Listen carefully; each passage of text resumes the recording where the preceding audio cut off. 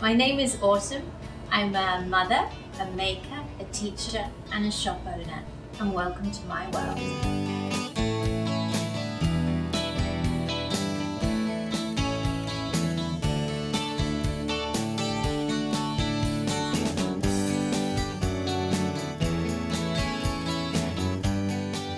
I grew up in quite, I would say, conservative um, household. However, my mother was incredibly creative with interiors. And my paternal granny, she was a knitter, but she was also an artist, a painter.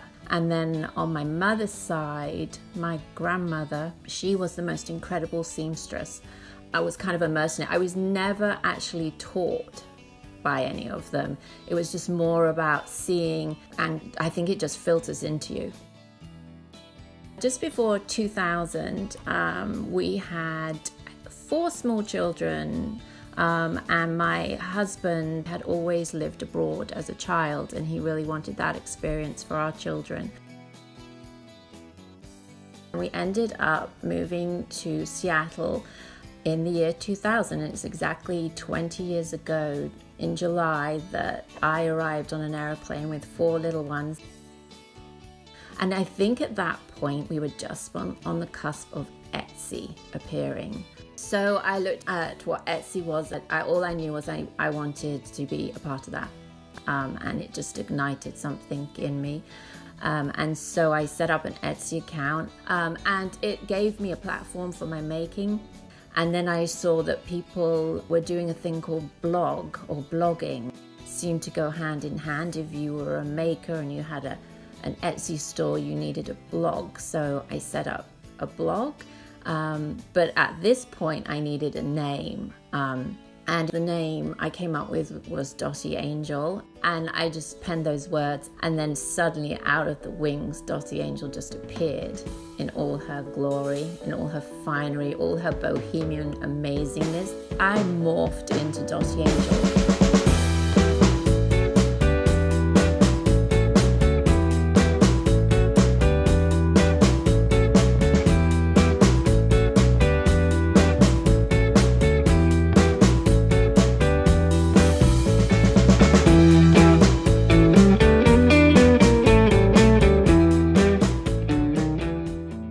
You could say Angel was always inside of me. I just allowed her to come out. And that's very true because no matter what I do, even now, she's always there. So, my love of woolly tattooing started when I took a job a few years ago in a local yarn store that was opening up. And it triggers this need. I want to be able to use all these colors and all these fibers, and yet I'm not truly knitting. And I believe it was in a Japanese uh, craft magazine or book.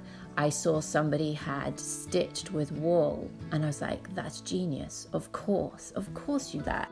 Um, and so I just took my knowledge of embroidery, which was very simple stitches, and I had a pair of mittens and started to stitch on them.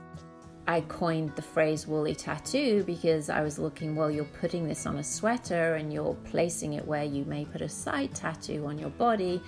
I'm going to do it in wool on the side of this sweater. So, fast forward, I was really fortunate to revisit Loop in their new space um, they've been there a little while. With my friend Emily Chalmers, took me in to meet Susan, and unbeknownst to me, she knew kind of who I was and what I'd been doing, and reached out and said, "We're making this book to celebrate our 10 fabulous years of." Uh, being loop and would you like to participate and would you like to offer up a woolly tattoo pattern um, which I was absolutely honored and delighted to, and also a little panicked because it involved a knitting. Um, and that's how that came about. And then I was even more blown away when I saw they made the front cover. And I have to say, out of all the many years of making, that was one of my proudest moments. At the same time as finishing with Dottie Angel, all of my children was leaving home and I felt very much that there was a big chapter in my life coming to an end, yet I had no idea how the next chapter would begin. I started a, a small side company with my youngest son, Marlon, but he's actually the business behind everything. And we coined the name Curious and Coe. It was a family name, so it was a play on the word company.